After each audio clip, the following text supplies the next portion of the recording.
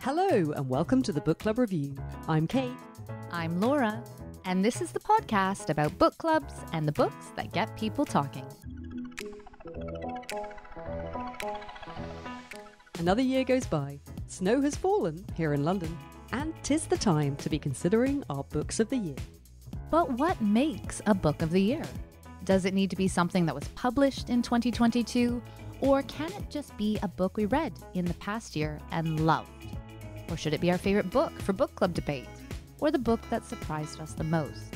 The book we gifted to a friend, or the book that left us with the biggest book hangover, not wanting to read anything else for a while?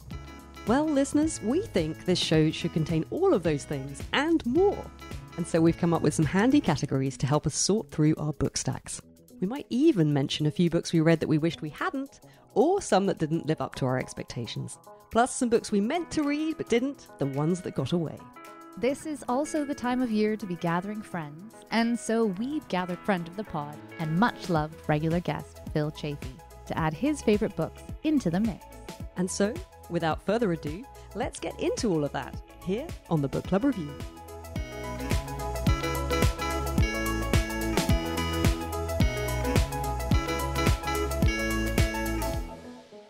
Hi, Phil. Hi, Laura. So lovely to have you both here. Phil in person, Laura via the magic of the internet. Phil, do you like what I've done with the shed? I love the shed. The shed is very Christmassy right now. There is some hot mulled wine. There's a Christmas tree. It's very neat. A lot neater than it's been in times past. Yeah, listeners, you wouldn't know, but we're um, in the process of selling our house. We're shortly to be moving, and we won't have the shed anymore. But as a result, my house has never been so tidy. Phil, we've had all this snow. I remember you telling me that you like to go on these early morning walks and you'll listen to your audiobooks. Have you been out there doing that in the snow? I have. Today I walked all over London actually in uh, fancy boots, which is why when I came in I did a Mr. Rogers switching of boots to shoes. but no, it's been glorious. London is almost never like this. It's been absolutely beautiful, particularly in the parks where the snow still is. All right, we've got so much to get through. So, to business, let's start with books published in 2022 itself. I realized looking back, it's actually relatively rare for me to read something super hot off the presses. How about you guys? Laura, should we start with you? What's a book published this past year that you really loved? Well, like you, I don't rush out to read the latest books typically, but because we're often reading books aligned with a prize, that sometimes hooks me into a book that's just been published. I should say that I had a runner up for this category, and then I realized it was published in 2021, so it didn't really qualify. That was No Touching by Ketty Rouf, translated from the French. Longtime listeners will know that I loved that book, which is about a philosophy high school teacher who turns to stripping in the evening. That's all I'll say about that one. Didn't qualify. The new release that really won me over was Trust by Hernan Diaz. This book is a grower. I really enjoyed reading it at the time, which we did for the Booker Prize episode, and I could read it again. It's a jewel box of a novel in that it takes place in four parts, and each part sheds additional light on these two characters, Benjamin and Helen Rask. He is a Wall Street tycoon. She is the daughter of kind of high society parents, and they marry. And then we track the relationship from there in the first segment. But then there are three more segments that shed light on what you have read at the beginning. This is a really ambitious novel. It's quite cerebral. I know I lent it to my dad and he didn't like it. He just stopped reading it. But I loved this book. I loved the financial element. I loved the examination of what capital means. And I loved the mystery and having to kind of unpick what was happening and figure it out. Trust by Hernan Diaz was on my list for books that I meant to get to this year but didn't. And the reason was because it was longlisted for the Booker. And I was so sure it was going to be shortlisted. Oh, I was like, oh, it "Oh." wasn't shortlisted. And in the end, it wasn't shortlisted. Do you remember? And I was sort of annoyed because I would have read it. that's I a good would have read it, but I didn't because I didn't actually pick it out from the long list, assuming I was going to be reading it when it was shortlisted, and then it wasn't. And kind of a shock, wasn't it? Lots of people were surprised that that book didn't make the shortlist. How about you, Phil? What's a new release that you've loved? Like you guys, I haven't read tons of them. Two runners up that I loved. One which Laura did not love was Maggie O'Farrell's The Marriage Portrait, which I thought was brilliant. And also Monica Ali's Love Marriage, which was just so fun to sort of luxuriate in these families popping around London. But those were runners up. My favorite was The Secret Lives of Church Ladies by Deesha Philyaw, mm. which technically was published in the UK this year, this spring. It was published in the US a couple years ago when it was shortlisted for the National Book Award. This is this book of short stories all about women, largely women in the black African American church, largely in the South, not always. And there's a lot of stories about mothers and daughters and daughters and grandmothers. There's a lot of queer stuff in this. Her writing is amazing. It's just so colorful. So many of these stories I haven't been able to get out of my mind. And it's a page turner. It's short. She's just this amazing writer. I don't think she's written a novel yet. It was an absolute delight, that book. Over to you, Kate. What was your favorite? Very tough to choose. Honourable mentions for me include Housebreaking by Colleen Hubbard, debut novel that I really enjoyed, relished, in fact, it was great. And also Nell Stevens, her book Briefly, A Life about George Sand and Chopin. It's fiction, but it's very much based on like a sliver of their real life biographies. And that was great. But the one for me, I feel like Book of the Year, it kind of needs to have a little bit of something extra, doesn't it? And for me, that book was a book called Seven Steeples by Sara Baume. This is connected with you, Phil. I don't know if you remember. You invited me to a literary event. Someone was giving a talk, and it was being held somewhere. It was Hernan Diaz for Trust. No way, because I couldn't remember who it was. Yeah, yeah. and I came up by train from Oxford because I was staying with my husband's family. We were out there. And so I came up, came to London, and to meet you. And I was kind of really excited, looking forward to it. it was going to be so much fun. And I stood outside, and people were going in, God knows for what event, because it turned out it was not the event that I thought, you know, we were going to see. Something else was happening that night, and Phil didn't come, and he didn't come, and he didn't come, and I kept thinking, "This is he's normally so punctual. Like I feel like he would be here by now." And so eventually, I texted you, and you were like, "Uh, Kate, that's tomorrow." I was like, "What?" I've never heard so that story. and just so I was so cross. I'm like, oh my god, because I just shit. Honestly, the amount of trouble I had gone to to like get there. And so, disconsolately, I took myself back to the station and I began the quite long journey back to Henley on Thames, actually, where I was staying.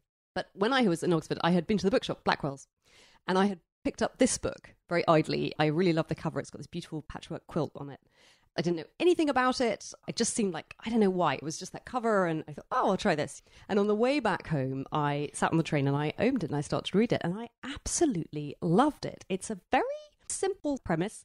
These two people who seem to be a couple decide that they don't really want to live conventionally.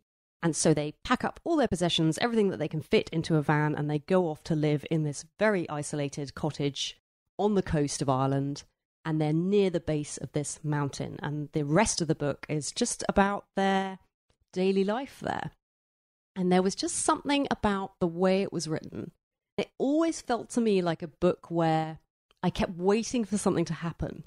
And actually, what's wonderful about it is that nothing really does happen. Even the author acknowledges this. There's a kind of ongoing joke about every year they mean to climb the mountain and actually they don't get around to climbing the mountain. And the thing is, they don't really need to climb the mountain because they're having a really nice time just living in this cottage. And it's kind of about objects and their possessions and a way of living and casting aside feelings about the right way to live and like, you know, your home has to be really beautiful. And, you know, they don't care about any of that. And also, what I really enjoyed about it was they're really turning away from phones and electronic devices and just quietly not worrying about all of that. That's not really relevant. They don't want to keep in touch with people. They just want to be there and they just want to live. And it's very evocative, very much sense of place. The whole thing just felt like a breath of fresh air and I absolutely loved it. And it just was very unexpected. I loved the way I knew nothing about it and it turned out to be such a delight. Okay. From the new to the old, it's time to share our favorite backlist gems that we dove into over the past year something that is not on the front tables at the local bookshop. What have you discovered this year, Phil? Again, a bunch of backlist gems. I read Colm Tóibín's The Blackwater Lightship, which was amazing, and Stefan Zweig's Beware of Pity, which was brutal and just astonishing. But my favorite was The Betrothed by Alessandro Manzoni. It was written between 1827 and 1842. This Italian novelist. The novel itself is set in the 17th century in Lombardy under Spanish rule, and there's a lot that happens in it. It's this big classic of Italian literature. And I told one of my Italian friends, Raffaele, about it. He just went crazy. He was, I was so excited that I was reading this. He said he had to read in school Boccaccio and Petrarch, and he said they're really boring, but Manzoni is much more modern. At that school, they teach that Manzoni went to the Arno to wash the old Italian language and create the new one.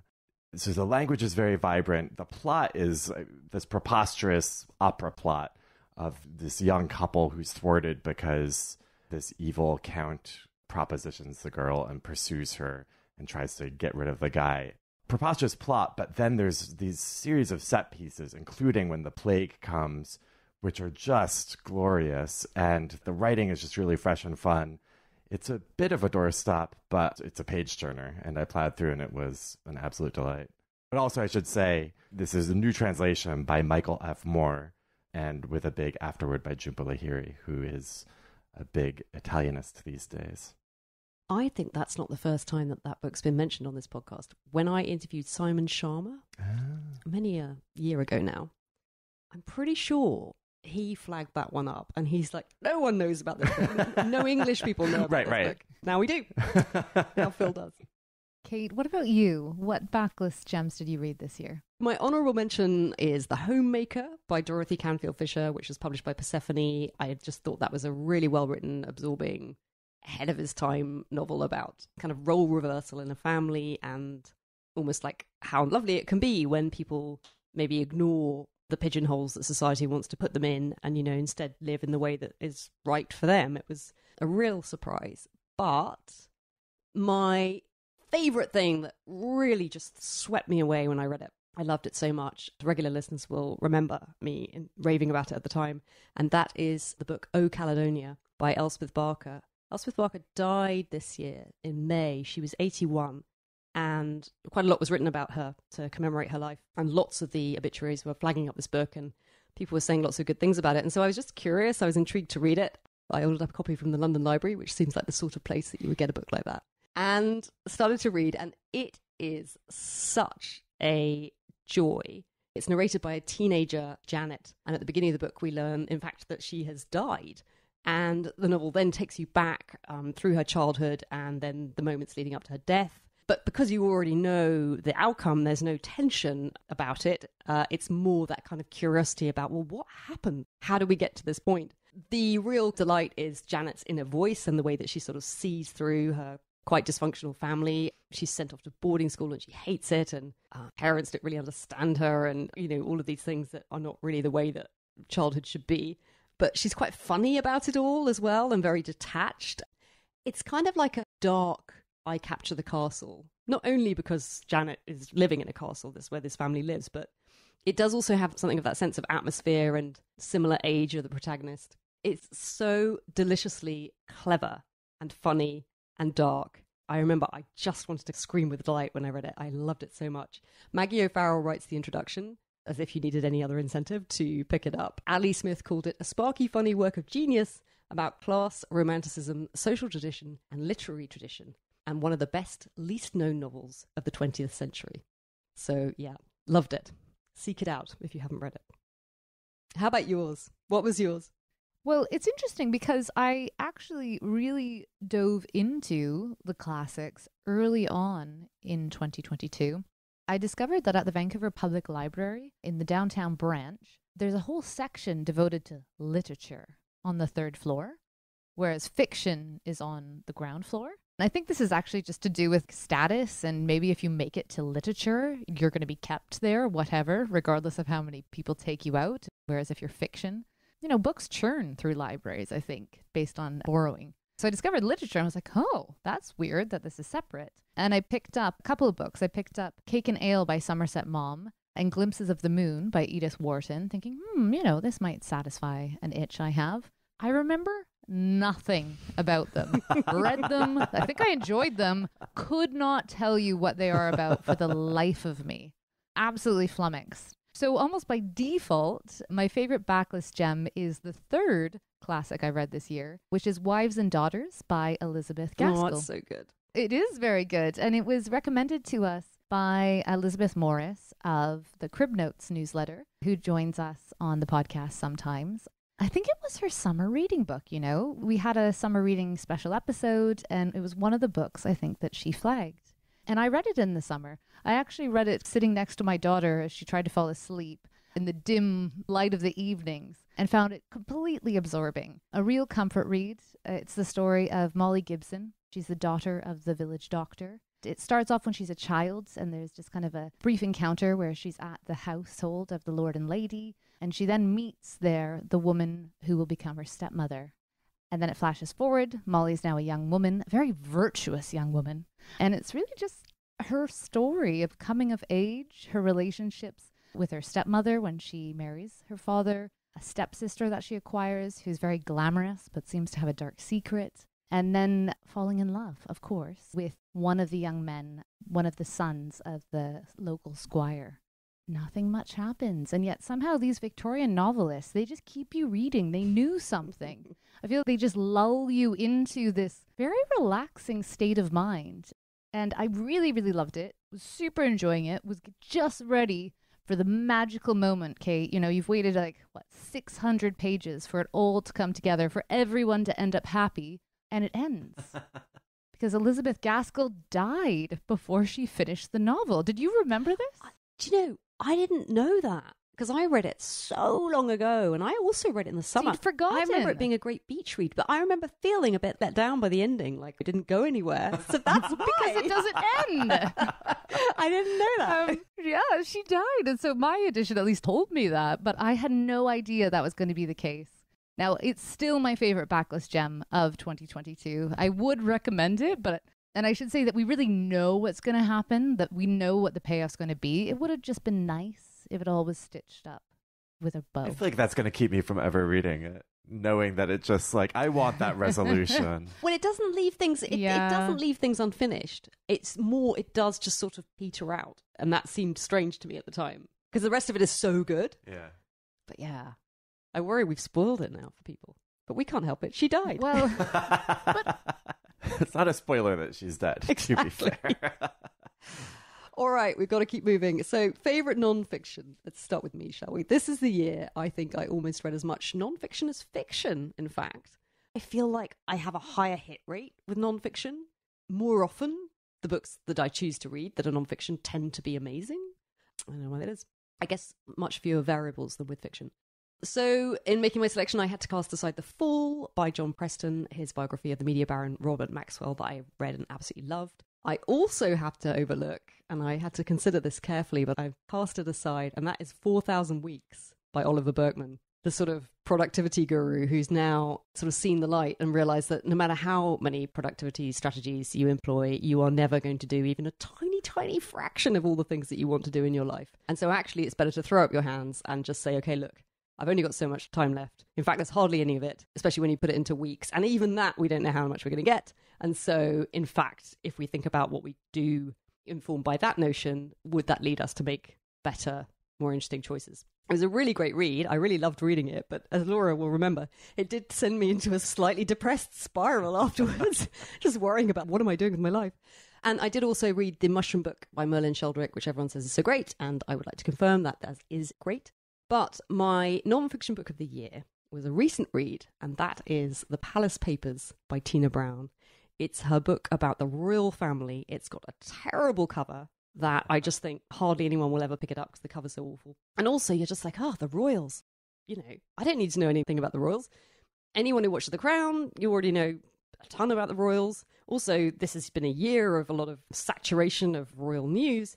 And I thought that too. The only reason I was curious to read this is because when there was a lot of commentary on the royal family, certainly around Harry and Meghan, and then I guess when the Queen died, Tina Brown was popping up on the talk shows, and she was just the only person who I felt had anything genuinely interesting to say. She was the one when I heard her, where my attention was really caught, like, oh yeah, that is an interesting thought or an interesting angle on it. And so I was quite curious to read this, and I was so happy I did because it is such a romp. I realized afterwards she's so perfectly placed to write this book. She edited Tatler magazine, this is a sort of society magazine here in the UK for years. And so she's intimately acquainted with the upper class social section of society that is actually a really big thing here. It's a big important part of British life still, although no one would acknowledge it, this class system that we have. And so she understands that world. She then went to America where she edited Vanity Fair for years. And so she understands Hollywood, she understands celebrity, she understands the American media world. She was married to Harold Evans, who edited the Sunday Times for many, many years. And so she also understands the British newspaper industry, the media industry incredibly well. And you bring together that expertise in all of those different subjects and the fact that she is a really good writer. She writes brilliantly. And all of this fantastic information that she's synthesizing and pulling together. Each chapter is structured around a different royal family member. And although overall there's a sort of sense of chronology and that you're coming through to Harry and Meghan at the end, in fact, within each chapter it goes back and forward in time. But by focusing on an individual, gradually you start to get this composite picture of it all. And I almost kind of really dazzled by the way that she managed to synthesize everything and create a really interesting, compelling narrative about this family and about ourselves, you know, our own relationship to them and the way that they have been, uh, certainly for British people, you know, a kind of ongoing presence throughout our lives. And how are things going to pan out in the future? You know, there's a very interesting speculative bit at the end about what she thinks might happen next. It's just a joy. It made me laugh out loud. I also was fascinated by it. And at one point, genuinely, I was almost moved to tears in a way that I was firmly dry eyed. Phil's looking puzzled because he's read this book too. you didn't find it emotional? Just, No. oh. No, I get- well, I was surprised too. Like, I wasn't expecting to be. There's just one chapter where she's talking about the Queen. But I found it very poignant. I really did, in a way that when the Queen actually died, I didn't feel that way.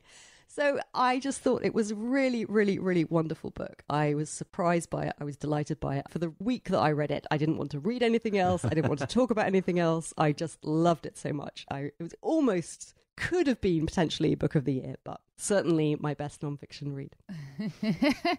Kate, there's a very important follow up question.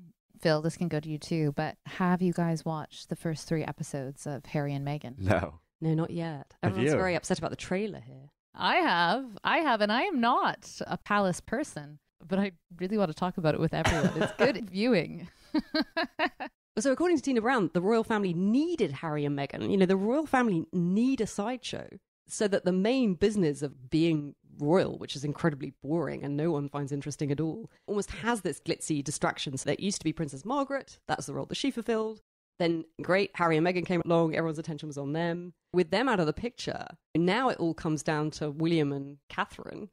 And is that marriage gonna survive? And also, the thing that comes across is just, you know, it is almost inhuman what's expected of these people, the spotlight that they live in, and the actual mundanity of their lives. I think Prince Charles once said that there's not a moment in his year where he doesn't know in advance what's going to be happening. The whole thing is planned out. And just imagine that being your life. Imagine living like that. They have so much privilege, but is it worth it? I don't know. Really, really interesting. Anyway, enough.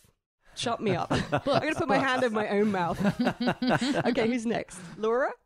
Well, I'm the opposite of you, Kate. Of course I am. I have barely read any nonfiction this year because I only read nonfiction if my book club makes me. and Phil, I've kind of been looking back at the list. I'm like, gosh, we really didn't read anything. Like, I was a bit stumped. I was like, did I read any nonfiction this year?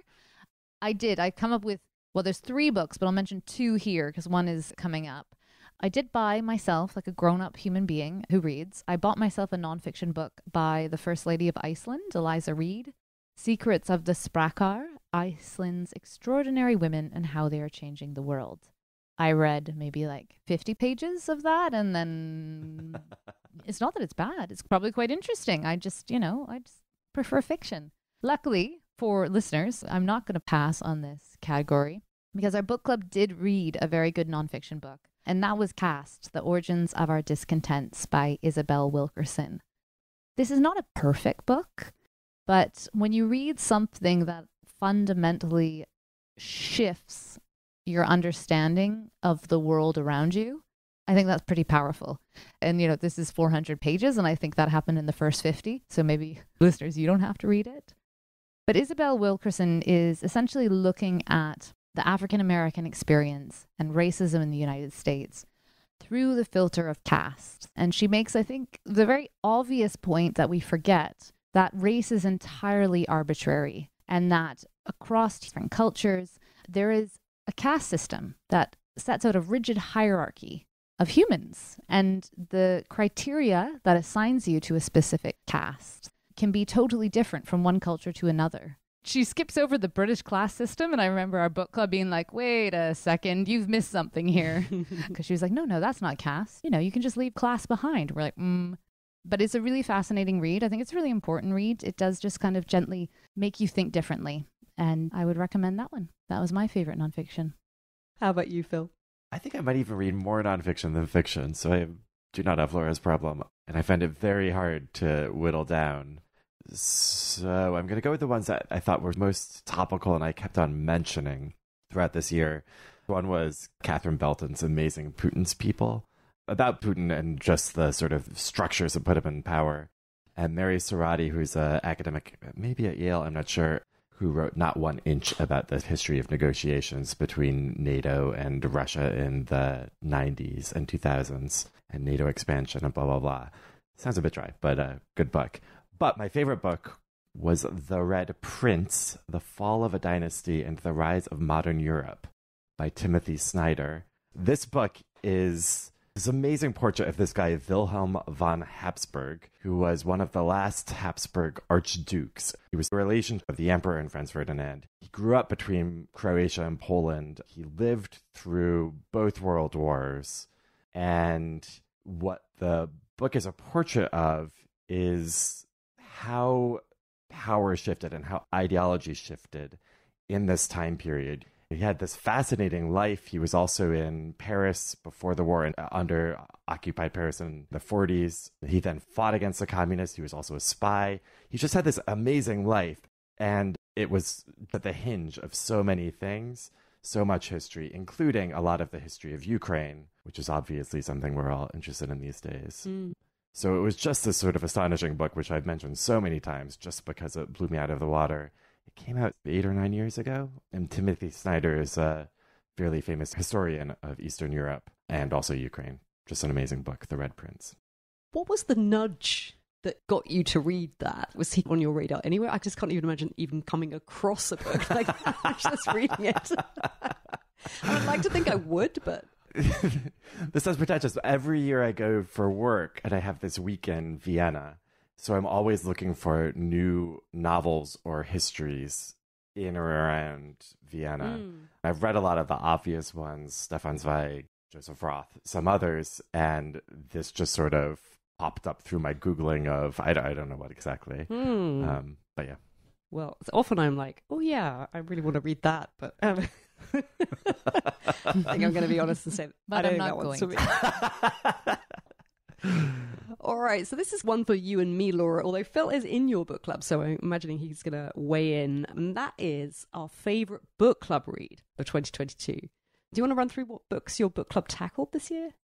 We read My Phantoms by Gwendolyn Riley, The Country of Others by Leila Slimani, Caste, that I just mentioned, by Isabel Wilkerson, Michel the Giant, An African in Greenland by Tete Michel Kpomassie, when We Cease to Understand the World by Benjamin Labatut, and Eight Months on Ghazzah Street by Hilary Mantel. A really good list, I should say. Lots of those books were memorable and feature in this discussion and were runners up otherwise. What about you, Kate? I'm containing myself because you read When We Cease to Understand the World by Benjamin Labatut, which is one of my total favorite books I've ever read. But I think I read it in 2021. I think I read it at the end of 21. Love that book. My book club read The Heart is a Lonely Hunter by Carson McCullers, Light Perpetual by Francis Spufford, The Narrow Land by Christine Dwyer Hickey, which we picked because it won the Walter Scott Historical Prize for Fiction, a book called Speedboat by Renata Adler, which is slightly obscure, but the prompt for us when we chose that one was a book the year of your birth. The Hummingbird by Sandro Veronesi. Our regular listeners to the podcast will know that I'm on record my feelings about that book. and The Seven Moons of Maali Almeida by Shehan Karunatilaka, which listeners again will know that I absolutely loved. I was really pleased that we read The Heart is a Lonely Hunter. I had never read anything by Carson McCullers before.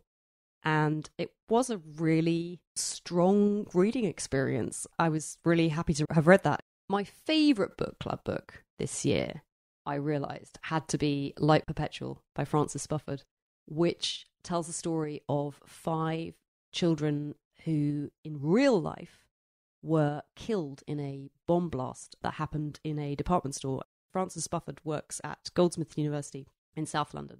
And every day on his way to work, he would pass this building that had this little plaque commemorating this event and the fact that a number of people died, including these five children. And I think he was just intrigued about the lives they might have lived had they been able to. And so that's the starting premise for this book, which follows these five children through the lives that they would have lived. It's very much a portrait of London, this place in London which he invents, but which feels like a real London borough. And you dip in and out of these characters' lives at various points. I almost wasn't so sure about it initially, and I was a bit disappointed because I'd really loved his previous book, Golden Hill. That was just really fun historical romp with a real mystery at its heart and a lot of things pulling you through it. I just love that. And this is not that. This is very different from that. And I, yeah, wasn't getting on with it for a while, but little by little, it did work its magic. And I did get really absorbed, really invested. And there's something about that sense of lives lived in time. There's something very beautiful and very profound about life that he really managed to capture. And I was so moved by it at the end.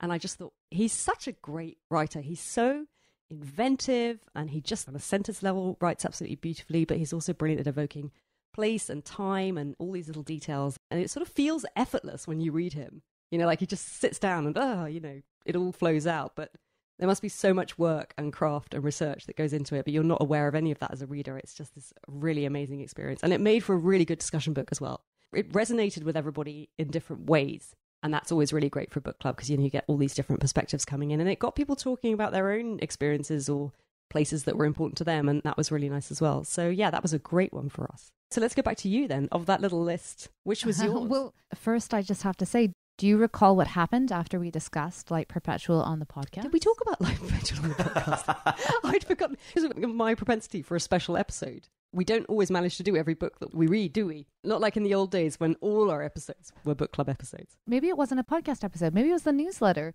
But Francis Spufford wrote you an Oh email. no, I remember that. Yeah, that was a highlight of my my podcasting life. he wrote me an email. It was the best email. Well, he wrote me an email just to say, what did he say? Was it that my next book is going to be more like Golden Hill? I had forgotten this myself, but when I was skimming back through our book club WhatsApp group to try and remember what we had read as a group earlier today, I spotted it. So that's why it was front of mind. What did he say? Uh, and it was a very short little note. Subject Golden Hill ish. Message Just to say that my next book, which I'll be finishing this summer, so I suppose will be out sometime next year, will be far more Golden Hillish than Light Perpetual Yeah, was. interesting. Because I think you said that you were expecting something more like Golden Yeah. Hill, which you Yeah. loved, which my book club loved, but then it won you over anyway. And then you wrote back to him saying, but then I'll be in mourning that it's not more like Light Yeah, Perpetual. he, So you can't, can't win. win.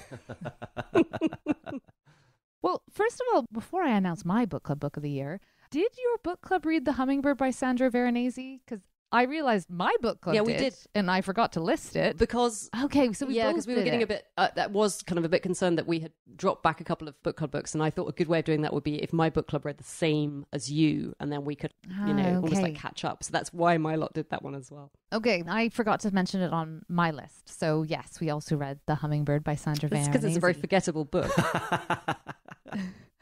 I'm with Kate on this. yes. For me, my book club book of the year was Michel the Giant, An African in Greenland by Tété-Michel Kpomassie. What an incredible book. It had been reissued, I think, in the last few years, and I believe it was Francis who flagged it. It is a memoir about Kpomassie's journey from Togo in the 1950s to the very far north. He travels to Greenland, and it takes him about 10 years to get there.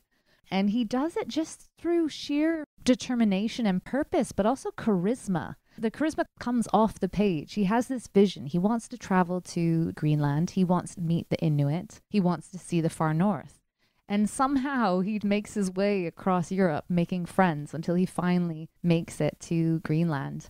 And his tone is utterly unjudgmental. And we loved the opportunity to read what, in effect, is almost like an anthropological study of the Inuit, but not through the white colonial gaze, through Kpomassie's gaze and from his experiences growing up in Togo, a colonized nation as well. It was an incredible book. He's still alive today. When we read about him at book club, he was still planning on moving to Greenland to end his life there. It made for a really great discussion and a super memorable read.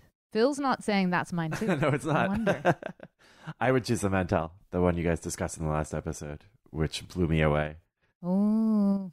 So that's Eight Months on Ghazzah Yeah. Street by Hilary Mantel. And it was good. Super good. Why would you read anyone else? very good question. Well, 2022 was the year in which Russia invaded Ukraine. In the UK, politics seemed to take a severe downturn in terms of leadership and vision. A fascist party joined the government in Italy. Trump announced he was going to run again. And in the US, Roe v. Wade was overturned. Twitter died, thanks to Elon Musk. Hilary Mantel died.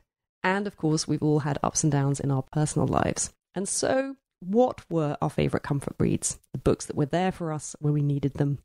Phil, what was yours?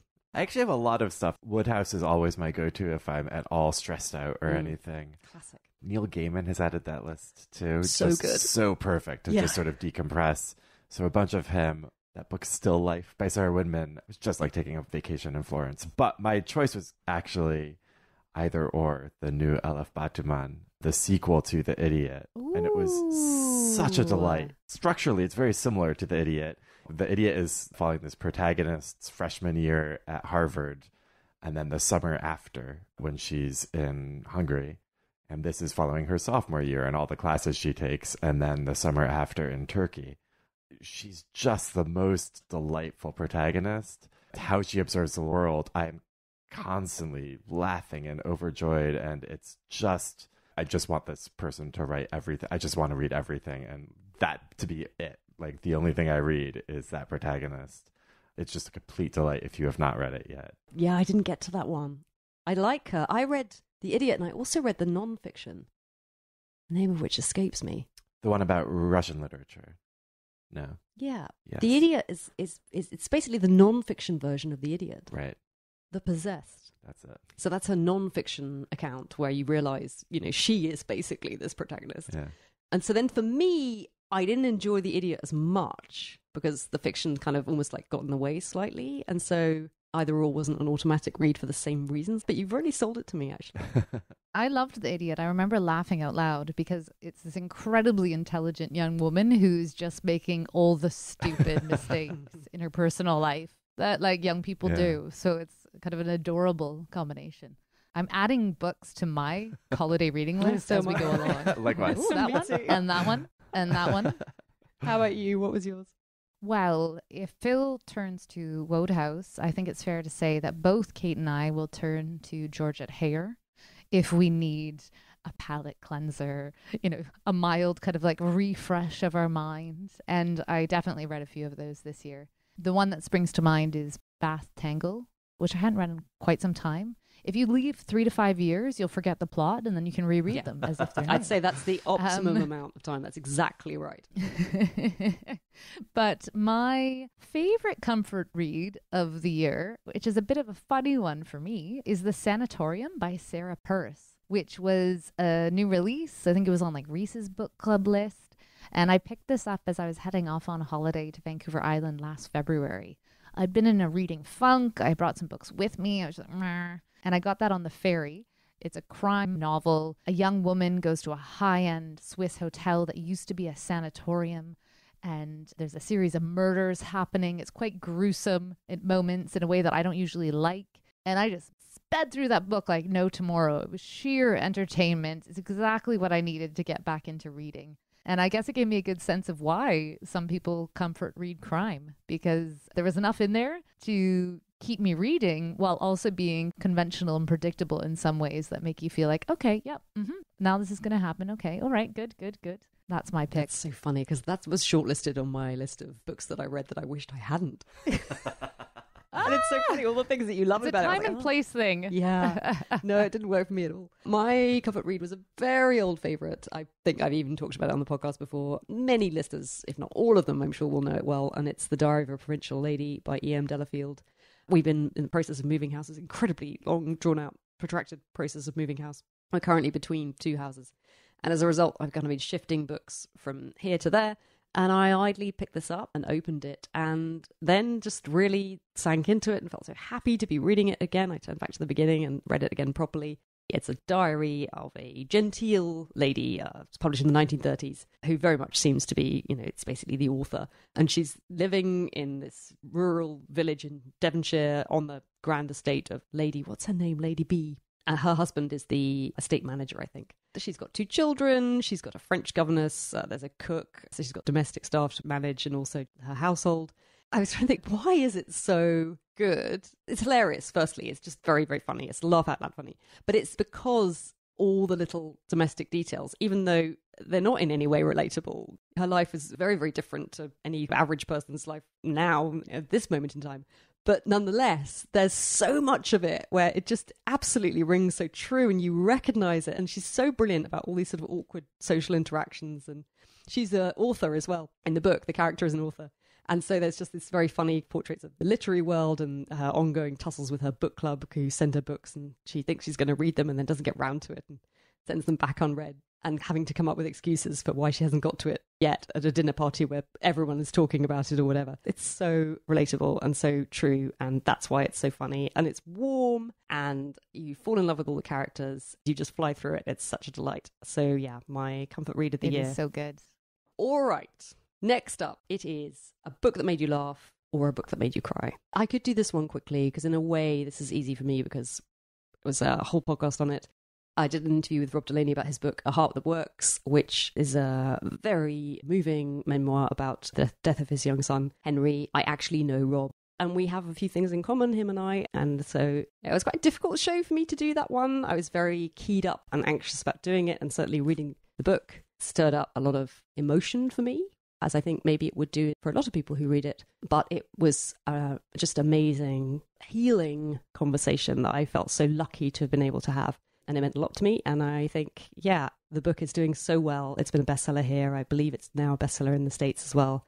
And I just think that's so wonderful because he's written something that is about a very specific set of circumstances, his own family's experience. But there is something so moving and universal about it that anyone can relate to. It's about grief and loss, but it's also about humor and joy and all the things that make life worth living. And yeah, it was just a wonderful read. It did make me cry and laugh. How about you, Phil? I stuck much more with laughter on this one. Either or would obviously qualify, but I went with Three Men in a Boat. Do you know this? K. I just Jerome? picked that up in the Oxfam bookshop the other day. It's on the list of funniest books ever, always. I read a page. It didn't seem funny to me. so Well, you have it to like. So I had done this before, and then I just plowed through a bit more. I mean, it's a very short book, um, but it's very proto. If you like Wodehouse, it's very proto Wodehouse. It's basically three upper crust Victorian toffs. Think Bertie Wooster, who are bored and they decide to get a boat and to just go down the Thames for a couple of weeks, and disasters and hijinks ensue. It is just as funny as I feel like people say, and I also listened to it with Hugh Laurie reading it Ah. and it was Ooh. just I was just in tears. I mean, in tears, laughing Yeah. the entire time. That's good. It made you laugh and cry. exactly. Maybe that's what we want. Oh, the audiobook is selling that to me actually because it's true. Yeah, I literally picked it up, read a page of it. I was like, oh, this doesn't seem funny at all. yeah. Put it back. How about you, Laura? We've often talked about how it's a challenge for a book to make us laugh out loud, and, and equally that it can be a challenge to have a book that made us cry. I've got three books that I feel like I must mention. Let's just say they moved me, and in some moments they were very funny. I wanted to call out Small by Claire Lynch. Claire came on the podcast early in the year, and we spoke to her about her memoir, which charts her journey to becoming a parent with her wife and their experience of IVF and the premature births of their two twin daughters. And that was a really beautifully crafted memoir and also a very special conversation. I wanted to shout out to The Sentence by Louise Erdrich, which I read after you recommended it, Kate, and then my Canadian book club picked it by chance. That novel is the story of Tookie, who works in a bookshop. She is indigenous and she becomes haunted by the ghost of one of the bookshop's most loyal customers. And that is very funny, but also dark and moving in its way. But, but, I'm sorry, I've talked. I told Kate beforehand, listeners, that she couldn't talk about more than one book. and hypocritically, I'm talking about all the books. I books. want to hear about all the books. I was the one always who wanted to hear about all the books. the book that made me laugh and cry that you know i just remember this feeling in the pit of my stomach towards the end of this book is the bread the devil need by lisa allen agostini the bread the devil need is the story of this incredible protagonist alethea who lives in Trinidad, who is in some ways, to all appearances, winning at life. She's in her late 30s. She's successfully running a small fashion boutique. But at home, her relationship with her partner is very abusive. Some really savage uh, domestic violence at the hands of her partner. And we go on a journey with her. She's a smart, capable woman. And how has she found herself in this position? Well, then you have to go back in time and understand where she has come from and what that origin story is. It's written in the Trinidadian dialect, and it's just a joy. She's such a memorable character, too.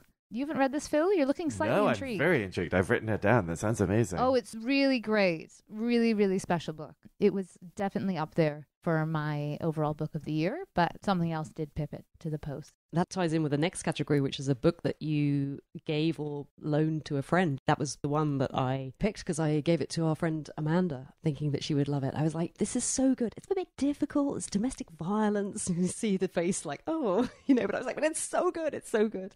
You're going to love it. How about you, Phil? The book that you gave or loaned? I didn't give a lot, so I'm switching this to sort of the book I pushed on friends Mm. raving about it the Mm. most. The runner up was We Don't Know Ourselves by Fintan O'Toole, which I recommended on a previous pod about his biography, but also the history of modern Ireland. That was on the New York Times top 10 books, wasn't Yes. it? Which everyone was saying, we haven't read any of these. but You'd read two or three of them, hadn't you? And that one is it's such an amazing book. But the book I've probably pushed even more than that is The Free World by Louis Menand, which was actually the first book I read. It's a bit of a tome. It's 720 pages. Oh where he goes through the mid-century the intellectual and cultural and artistic world and particularly the ferment following world war ii and all of the emigrants who left europe for other places primarily the states he basically organizes by chapter around either specific intellectuals so george kennan george orwell hannah arendt Susan Sontag, James Baldwin, but also talking about abstract expressionism and the Beatles. It sounds a lot and it sounds daunting and it sounds like, why would you ever read this? No, I think it sounds great. One reviewer wrote that basically for every chapter, the chapter is probably the best primer on that topic. Mm-hmm. And his writing is amazing. He's very engaged intellectually with all of it. It just made me feel like when you were most engaged in college or at university, when you had the professor who just was like, you could feel your mind, the neurons interconnecting and your mind growing. And it just felt like that on every page in the most exhilarating way. I've just been pushing that book. I listened to it. I went out and bought the thing in print because I know I'm just going to be constantly referring back. So that's the one. That does sound like something, unlike the other one. I'm very sold on that one. And how about you, Laura? What's a book that you loaned to a friend? Well, I'll be curious if you two have read it now because I've talked about it a lot over the past 12 months. I had two copies. One copy I gave away, one I loaned out to my family. And that was The 16 Trees of the Somme by Lars Mytting. This had everything for me that a good read should have. It had travel because you move from Norway to the Shetlands to the battlefields of the Somme. You have a dark family mystery. So our protagonist, he's a young man, Edvard. He's grown up on a tree farm in northern Norway, raised by his grandparents. And there's this mystery surrounding his own parents' death because at the age of three, they died in northern France, and it's all shrouded in mystery. And there's a missing great uncle who he believes is dead, but when his own grandfather passes away, this beautifully constructed coffin arrives, and he knows that his great uncle was a master carpenter. So he goes on a journey to try and uncover the truth. It's gripping and surprising. There's a bit of romance in there. Such a good read. This could have been my comfort read, actually. I loaned it to a ton of people. They all seem to have enjoyed it very much. I recommend it to everyone who's looking for something good to settle into over the holiday. All right, we're nearly there. We're nearly at our overall book of the year. But just before we get there, just because it's kind of fun, I wondered if you'd be willing to talk about a book that you read but maybe you wished you hadn't, or a book that you didn't finish, or a book that disappointed you in some way, maybe didn't live up to your expectations.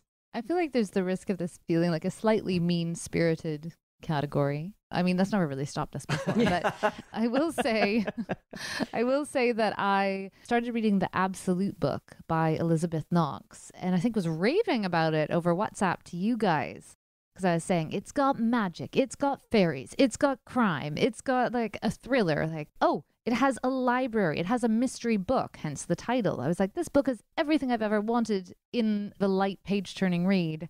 It's a strange one because I did love parts of this book. It's just really uneven. And so in the end, it got very convoluted and somehow ended up being about climate change. And I was just kind of like, oh, well, okay, this is not what I thought I was going to get. Not a terrible read. I'd say maybe try it, but an interesting one that could have done with some editing. Oh, shame. Okay, Phil, how about you? I read a couple that were disappointments because my hopes were so high. I don't even want to bring them up because it just feels mean. Oh, I wonder if one of mine is going to be one. I think I have one that exactly fits into that category. But there's one that I just hated, which I read because so many people love it, which is A Little Life. Oh, Hanya Yanagihara, which was maybe 5,000 pages. I don't know. It was 5,000 no, pages. I'm, I'm, I'm It felt exaggerating. like, right. it felt like it. It felt like I, it was way too long. It's basically this modern passion play. Theoretically, it's set in today and blah blah blah, but it's just set up to torture this one character. a passion play almost like a medieval Yes, I mean that's what it should felt perhaps like. explain to people who didn't do a medieval studies degree or read as much medieval things as you do what a passion play is, right? sort of reenacting the Passion of Christ, the crown of thorns and the hanging on the cross. These medieval passion plays, also saints they would use, but just sort of the gruesome torture and death of the saint or Christ or whoever. This is fascinating. This is a take on a little life that I haven't heard before, and I've I read mean, a lot that- about that book. So I mean, I, I spent a, I, I had a lot of time to think about why I was not liking any of it. It's also just filled with these characters who I mean, there's so much verbiage around them, but they're basically stick figures. I felt like there was almost no three dimensional characters in this thing.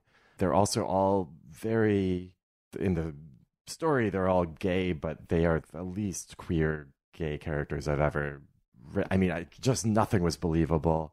I am astonished at the number of my friends who love this and the number of writers I really respect who think this is one of their favorite books. So obviously, I am not getting something about it, but wow, this was a bad book. Oh, so interesting. Hmm. Because I'm so on the fence. Like, should I? Shouldn't I? I just feel my instinct is that, you know, there are things in there which once you've read, you're not going to forget them. And I almost felt like I just don't know if I want those things in my head. Like, I just feel Yeah. quite simply about it, you That's know. fair. And I'm not convinced that the rest of it is going to be profound enough or moving enough to make that worthwhile to me, you know? When we read East West Street by Philippe Sands, and there is something in that book. It's just a detail it's a paragraph. And I remember at the time when I read it, the horror of reading it. And I will never forget it. And I continue to be haunted by it. Mm. I'm glad I read that book. We raved about that book. I love that book. I would never want to not have read that. But I will now carry that image in my head very immediately and profoundly, which is important, I think, in a way. But you know what I mean? I just like, I felt like his little life could be like that. So anyway, yeah, interesting. Well, so mine, it's not about being mean spirited. I think I was so excited to read Liberation Day, the new collection of short stories by George Saunders, who is a author that I really revere. There aren't that many authors where I've read everything that they've written, but I'm pretty sure I've read everything that George Saunders has written. I really, really, really love his work.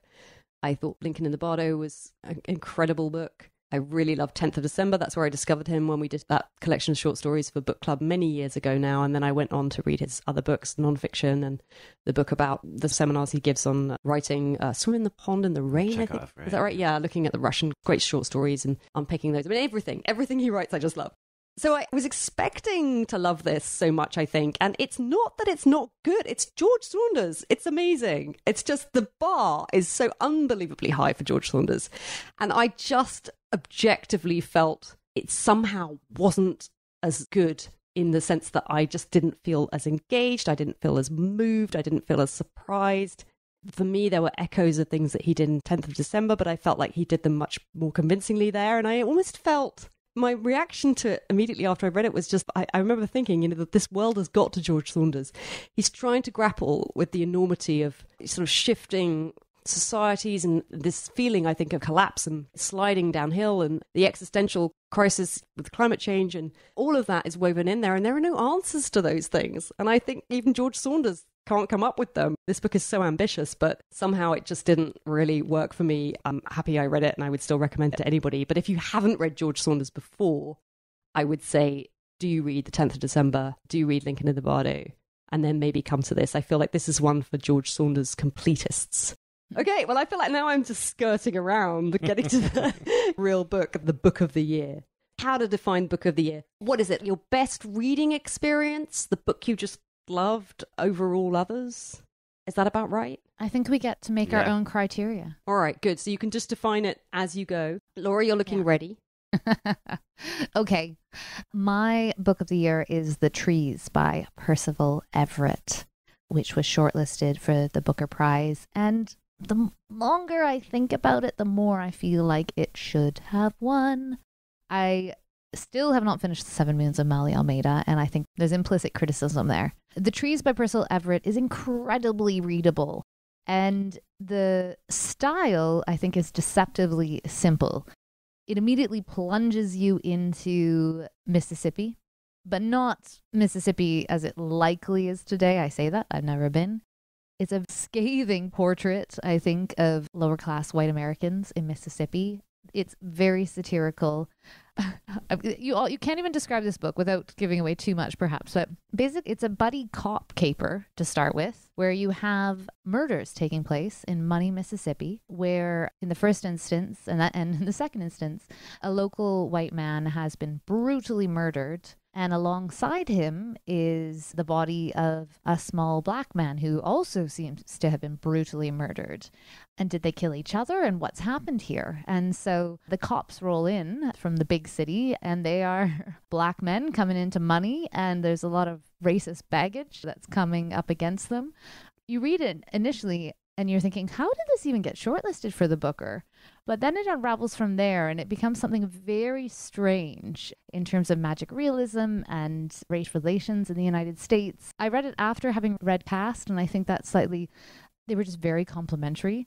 I feel like it's a classic. I wouldn't be surprised if it ends up being studied in schools and certainly at universities over the coming decades. That's my book of the year. It was a great read. You're right. It's good to have that in there. That's your book of the year. Wow. That's my book of the year. I want to go next because if I'm conscious that Phil is waiting to go after me, that will stop me going on too long, which is obviously a real problem. Oh my God, just to choose one. What a nightmare. I have to give a shout out to After Sappho by Selby Wynne Schwartz.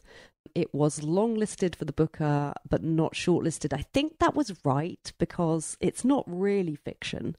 It's one of those books that I always find, I only find them problematic when they're in contention for fiction prizes. It's based on true life fragments from history. She weaves together this polyphonic narrative, all these different women voices throughout history. It was so well done. It was so beautifully written. There were individual sentences that just made me want to shiver with delight. It was just wonderful. And all going back to the poetry of Sappho, this Greek poetess. We only have the tiniest fragments of her work that have survived and come down to us today, but more is known about her through the way that other people referenced her. So we know that she was someone really important in Greek culture. But these fragments that remain are extraordinary, and this book really holds them up. And it was just such a delight. It was really, really wonderful. I urge everybody, if you haven't read it, do seek it out. It's amazing.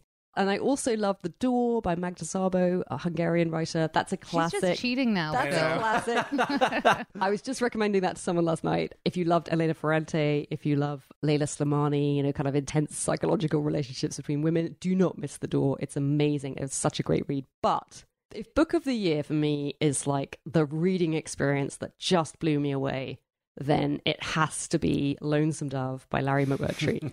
the, what is it, 900 page Western. It feels like the world is divided into people who've read Lonesome Dove by Larry McMurtry and people who haven't yet because it's such a great book. And you're like, cowboy book? I'm not interested in cowboys. Who is? Hardly anyone. Don't let that put you off. Even when you start reading it, you know, it was a good 300 pages or so before I was convinced. I was sort of, you can tell it's good. Like from the beginning, you know you're reading something good, but I was really just like, well, when am I going to get to the stage where I fall in love with the characters? I don't really care about these characters that much. And then they've got these cattle, these two Texas Rangers who uh, decided to gather all these cattle together and take them up to Montana, and they're going to graze them up there and start a cattle ranch. And this is in um, uh, the, the end of the century west, where there were still large areas of unsettled land. There was still the Native American population. It's that period of time that we're all quite familiar with from all those cowboy movies. So they're taking these cows up through the open country, and there's this sandstorm. They're in this sandstorm, and suddenly I was just like, "Oh my god! Like, what is going to happen?" And I was turning the pages. I couldn't believe it. It's just the drama.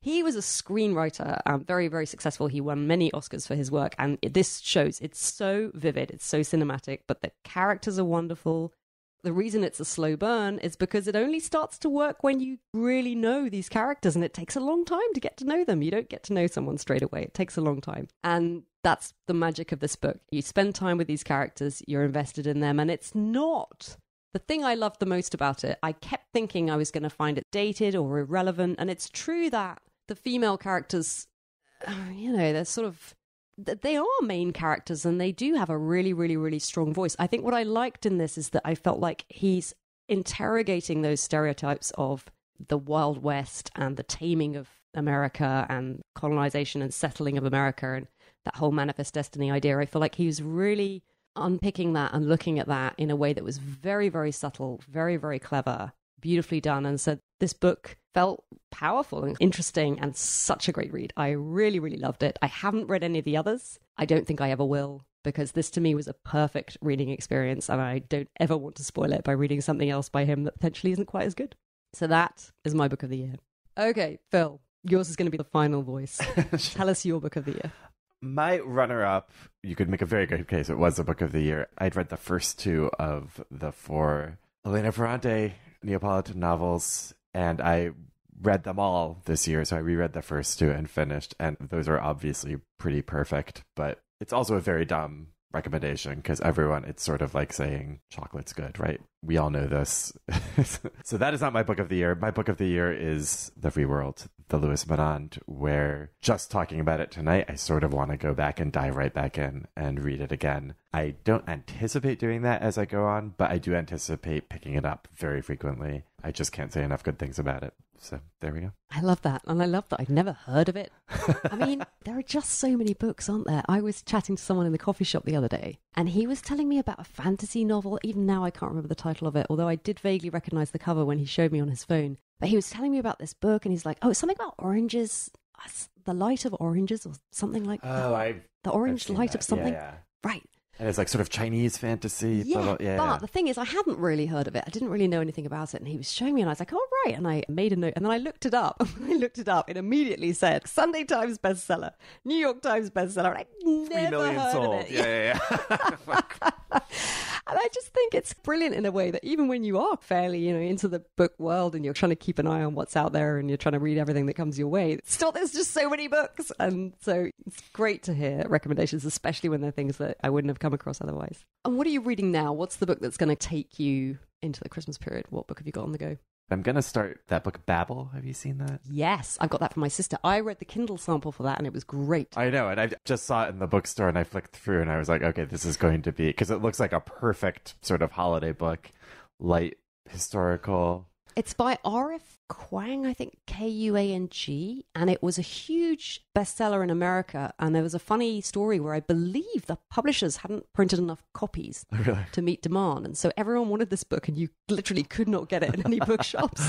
And when I heard that, that made me curious about it. So I downloaded the Kindle sample. It's a kind of coming of age story, isn't it? With a main character who is an orphan, is that right? Something like that. And he is taken under the protection of this powerful man who sends him to school and seems quite stern. And he's learning, it's to do with translation, isn't it? And the idea of language. But in this world, which is a bit like Philip Pullman, it's close to our world, but not. In this world, language is somehow linked to magic and the way that certain individuals can manipulate um, silver. And the characters are great. It was very propulsive. I burned through the Kindle sample, and I will definitely read the rest at some point. And it's also, I think, in Oxford in the 19th century, but uh, separate, Mhm. sort of like Philip Pullman. Yeah. Also, but also, I think this author, that previous trilogy was about the Opium Wars.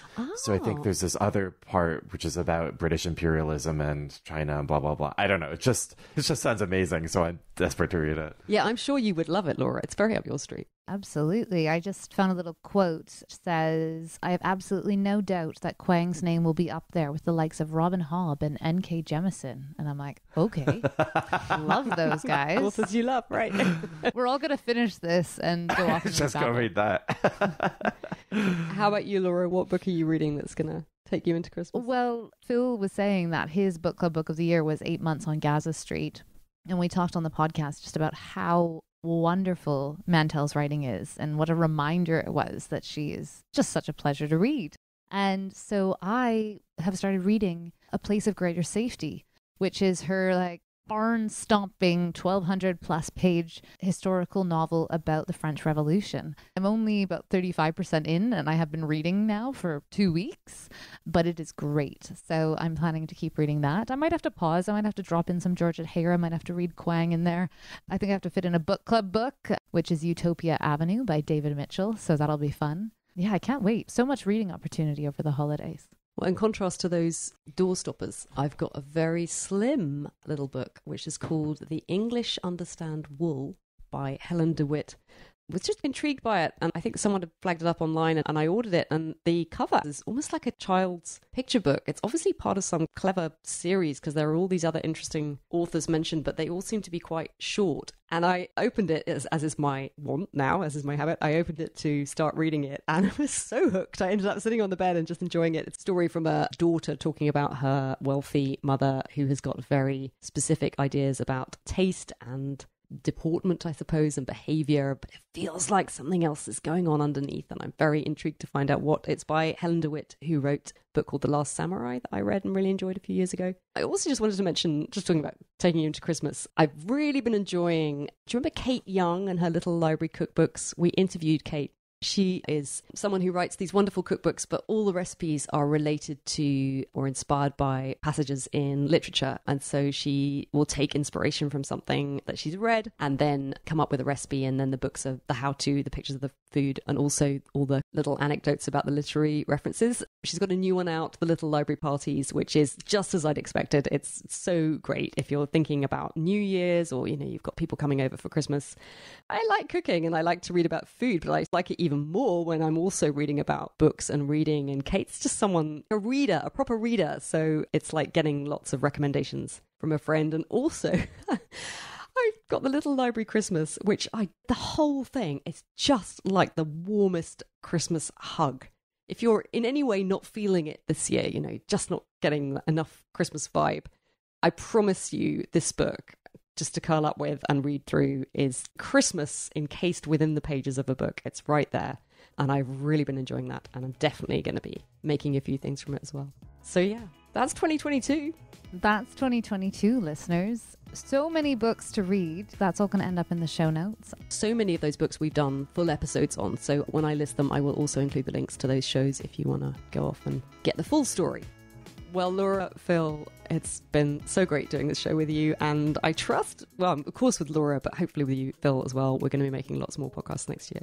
I look forward to it. It's always so fun being on the show.